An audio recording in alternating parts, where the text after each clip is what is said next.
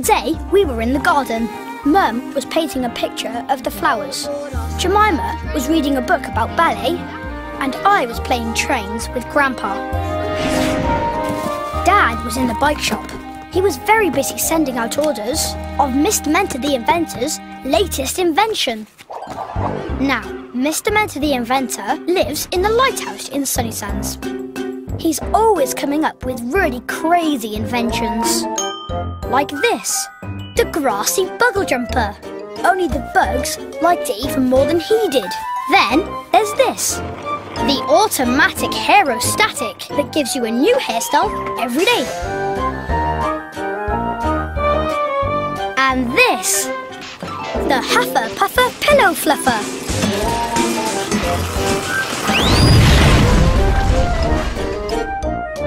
Everyone loves going to visit him in the lighthouse and trying things out. And he likes trying out other people's inventions too. And now he had invented these. Mr. Mentor calls it the Brilioso Bicycle Bell. Mr. Mentor doesn't just invent things, he invents words as well. Every Brilioso bicycle bell had a funny ring.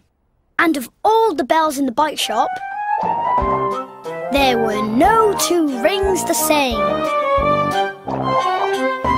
I wonder if there's a Brilioso bicycle bell that goes wah wah wah wah wah wah. Yes, or or Or just then Mr. Liker Biker arrived on his way to the beach. Oh. Mr. Liker Biker, I'm sorry I didn't see you there. You'll have to excuse us. We were pretending to be Brilioso bicycle bells. Oh, Brilioso bicycle bells? Mr. Mentor's latest invention. Every bell makes a different sound. Oh, I like a bell with a resounding ring. Well, the bike shop's full of them. You can take your pick. Oh, I will. I'll go there right now. Maybe not right now, Mr. Liker Biker. Dad's really busy. Everybody wants bells, and he's sending out orders. then the sooner I get there, the better.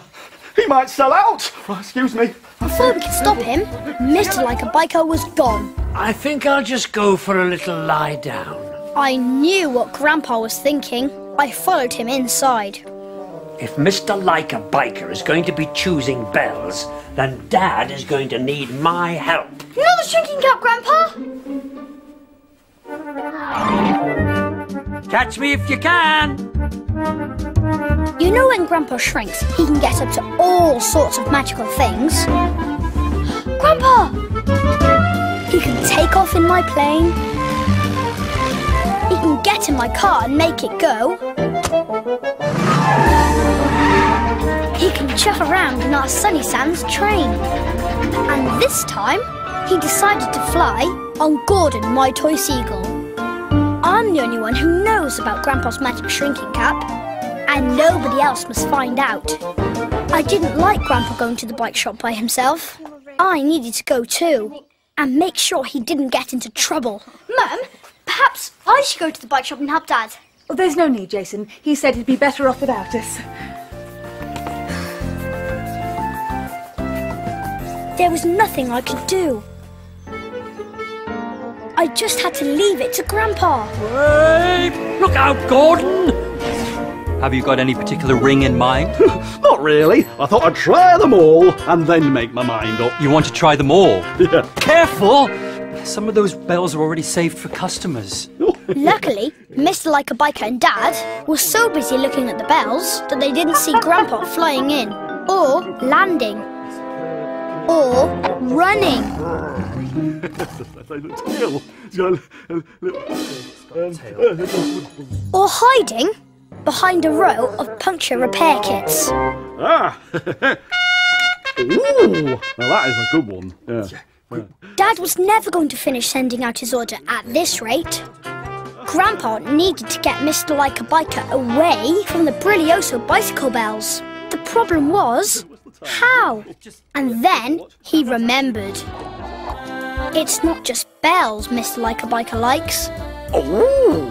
I like a bike with silver trim. Ooh. I like a saddle with comfy padding. Ooh. I like a helmet with sparkly stars on it. Mr. Liker Biker likes everything to do with cycling. Grandpa was running along the top shelf. If he could get Mr. Liker Biker interested in something else, then Dad could get on with packing up the bells. First, he tried to get him interested in cycling shorts. Oh, are those cycling shorts? Oh, let me see. Oh, yes, I like a pair of shorts with extra stretch. now, those bells. Then, oh, Grandpa tried to get him interested in a cycling top. Oh, is that a cycling top? oh, yes. I like a top with a nice long zipper. Why don't you try them on? Oh, Take as long as you like. Oh, now Mr. Liker Biker had something to try on. Dad could go back to sorting out the bells. Grandpa's plan was working. But it wasn't working for long. oh, it's a bit tight around the arms. That's because you've still got your armbands on. What? Oh, oh yeah, so I have. I thought I was looking a bit muscly. Yeah. Please can I go and help Dad, Mum? Please! He doesn't need any help, Jason. I'm sure he's doing absolutely fine. I had a nasty feeling that he wasn't doing absolutely fine. And I was right. No, no, no, no, Oh, don't. that's stickers. no, no, really. No, please. Enough of that one now. Mr. Liker Biker was messing everything up. Grandpa had to do something.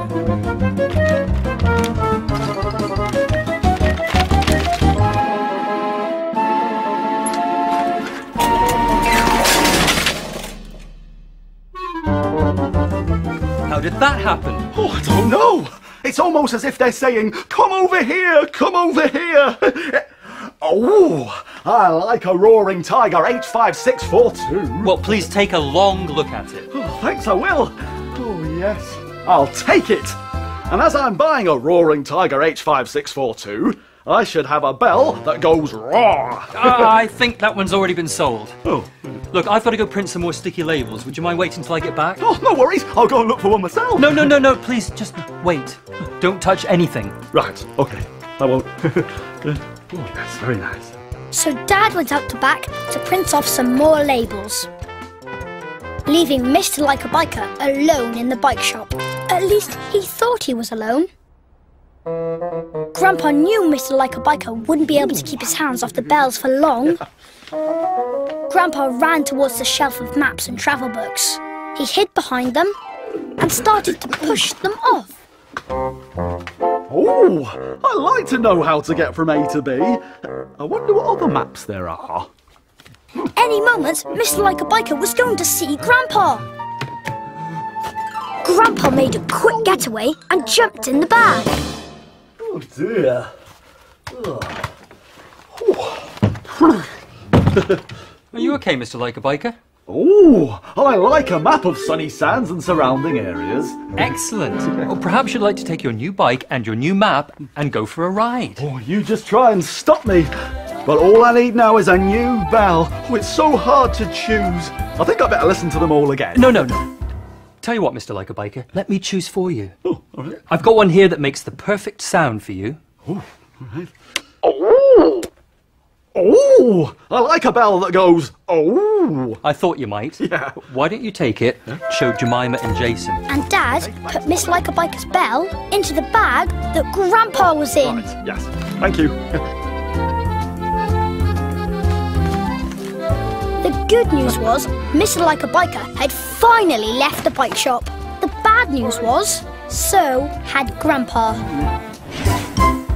I'm back! And guess what I got? A Brilioso bicycle bell! I thought you might. Yeah. Would you like to hear it? He was just about to open it when we all heard this. Grandpa makes a noise just like that. If Mr. Liker Biker opened the bag, then everyone would see Grandpa. Don't worry, I can help. I whipped the bell out of the bag and handed it to Mr. Liker Biker. It looks fine to me, Mr. Liker Biker. While the others were all having fun with the bell, Do you want to go? yeah. Go I dashed inside with Grandpa in the bag. At last it was safe for Grandpa to come out. Grandpa! Whew, that was close. Cap off, Grandpa, quick!